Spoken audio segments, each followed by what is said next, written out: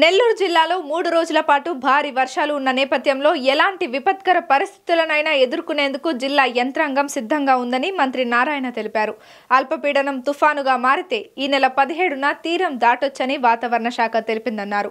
CM Chandrababu కీలక సలహాలు సూచనలు ఇచ్చారని భారీ వర్ష సూచన నేపథ్యంలో ప్రభావిత ప్రాంతాల్లో అధికార యంత్రాంగాన్ని అప్రమత్తం చేశామన్నారు.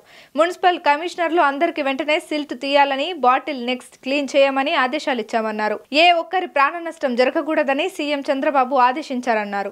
అన్నమయ్య సత్యసాయి వైఎస్ఆర్ అనంతపురం డిస్ట్రిక్ట్స్లో కూడా హెవీ రెయిన్ ఉంటుంది ఫోర్కాస్ట్ ఇచ్చారు. పదిహేడవ తేదీ కూడా యాక్చువల్గా అదేవిధంగా ఇదే జిల్లాలో హెవీ రెయిన్ ఉంటుందని ఫోర్కాస్ట్ ఇవ్వడం జరిగింది.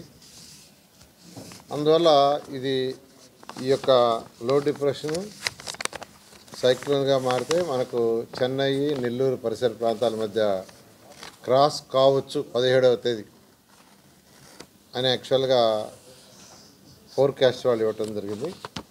దాని మీద ఈరోజు ముఖ్యమంత్రి గారు ప్రత్యేకంగా టెలికాన్ఫరెన్స్ తీసుకొని రాష్ట్రంలో ఉన్న జిల్లా కలెక్టర్లకు అధికారులకు మినిస్టర్లకి అందరికీ యాక్చువల్గా ఇన్స్ట్రక్షన్ జరిగింది.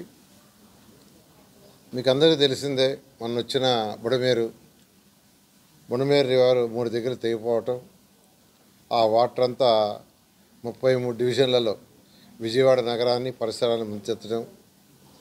పది రోజులైతే ముప్పై మూడు డివిజన్లలో నీళ్ళు దానివల్ల దాదాపు ఏడు లక్షల మంది సఫర్ అయ్యారు. ఏడు లక్షల మంది. అన్ని రోజులు నీళ్ళు ఉండటానికి కూడా కారణం ఏంటంటే ఆ నీళ్ళు ఆ వచ్చిన నీళ్ళు పోయేదానికి బ్లాక్ అయిపోయినాయి. అంటే ఒరిజినల్గా ఏదైతే ఆ బుడమేరు కావచ్చు దానికి సంబంధించిన కెనాల్స్ కావచ్చు ఒరిజినల్గా ఎంత వెడల్పు ఉండాలో అంతే వెడల్పు కానుంటే వాటర్ ఫ్లో అయిపోయేది.